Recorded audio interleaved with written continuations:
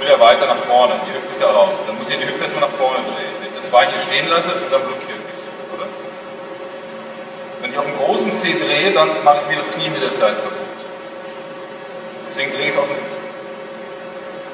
kleinen C-Bein und ihr seht, ich bin eigentlich hier schon raus.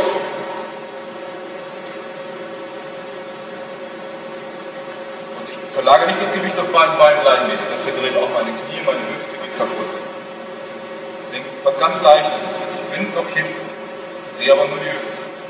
Die Kraft geht, diese Kraft, das ist wie, wie so eine, das geht hier hin auf einen Kreis. Das ist der Mittelpunkt des Kreises. Der Mittelpunkt des Kreises ist mein kleinen C-Bein.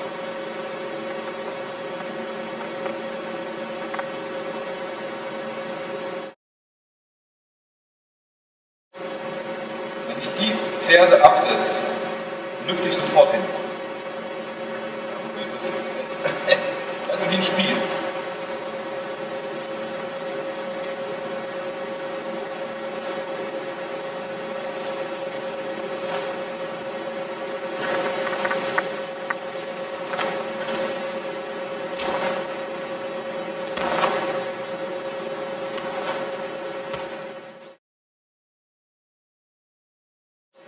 Seht ihr die Dynamik? Wenn ich das absetze, schießt hier ein Impuls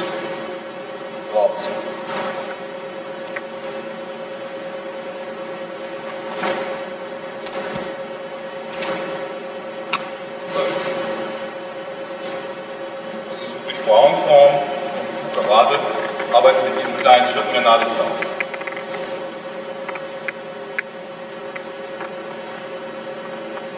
Also wichtig, nicht beides gleichzeitig belassen, wissen, was ist der Ruhepol.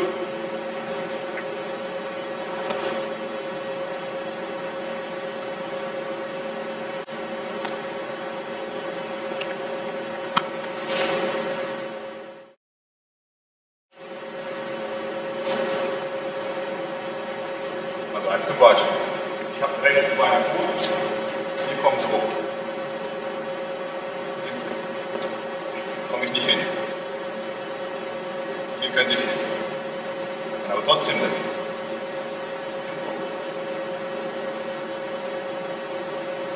Ihr seht, ich bin raus aus der Linie.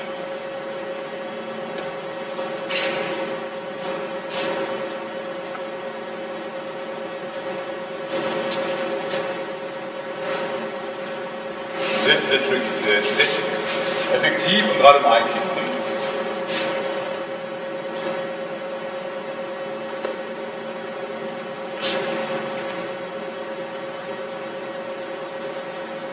Wenn man zu groß macht, wie man es manchmal sieht, wird das einfach unphysiologisch.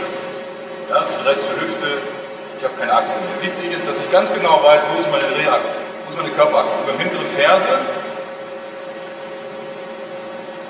jetzt über der Ferse. 0,1, nicht beide Beine gleichmäßig. Da gibt es ein, wie beim zu Fuß gehen. Ne? Spiel, wo ist mein Schwerpunkt? Das macht die Sache so flüssig, flüssig und unglaublich, unglaublich schwer zu fassen. Das fließt weg und unglaublich schnell.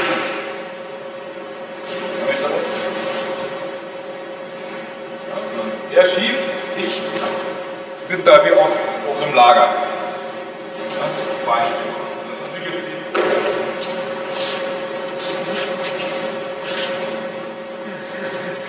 Das passiert durch eine bewegte Hüfte und durch die richtige Koordination. Knie bleibt in Richtung der Zehen, ne? bleibt nicht so stehen. Alles aus der Hüfte, das Bein. Hier, nicht aus dem Fuß. Das ist wichtig, wenn ihr das übt. Ja. Aber macht die Hüfte sehr geschmeidig mit der Zeit.